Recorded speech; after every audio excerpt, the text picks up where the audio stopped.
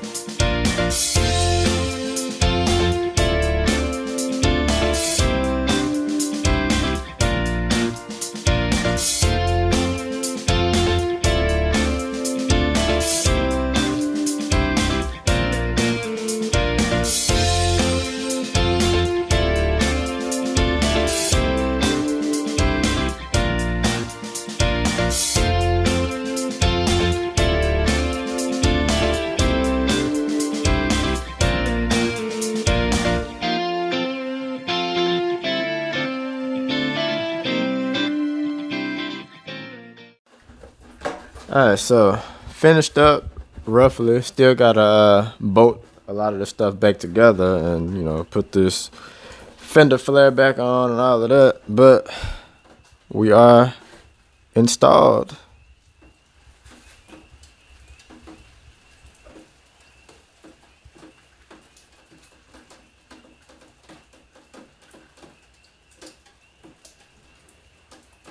So yeah. Uh, I literally just did this not too long ago. So I'm still trying to figure this remote out. But yeah. It's gonna be one mean Durango.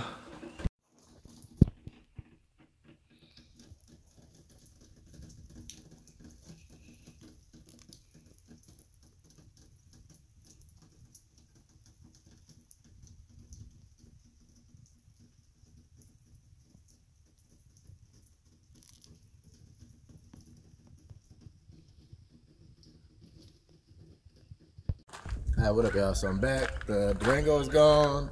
Uh, didn't get any daytime pictures of it because it was raining and muggy all week long, and some type of way it's bright and clear and half warm today. So, you know, whatever. But truck is already gone, so we are on to the next project. Uh, if you saw the retrofit Halo Demon Eye Impala lights and all of that, I got some pictures coming for that, so I probably have a video up in a couple days. But uh, I got a new project coming in, so another set of rear door panels, getting uh, the screen put in here. So I did this on another Impala, I guess about a year and a half ago. Uh, I put a link to that video in here, but this is what we're looking like.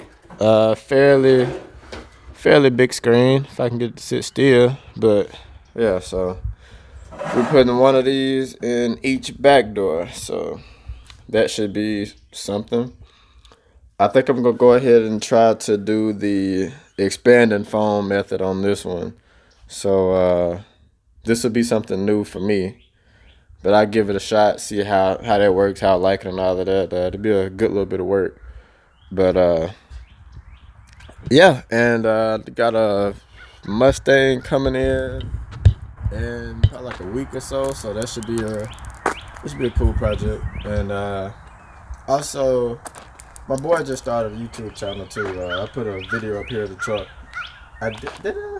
I might have did a video on his headlights. I don't remember, but I show some pictures in here of what that looks like, and uh, put a link to his YouTube channel in here so y'all can check that out if you want to see some truck builds. So new motors, exhaust, all of that type of stuff, which is not quite what I'm doing, but if you're into that type of stuff, check them out and uh, follow that journey. So it's more horsepower and whatnot. But uh, yeah, if you're into figuring out problems, stick around for this one because this is another video of issues that we are fixing.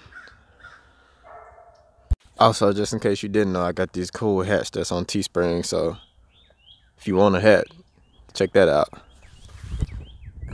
Too, so. Stuff is pretty dope. But uh, but yeah, I'll catch y'all on the next one, and uh, we're gonna be focusing on this vet for a day or two.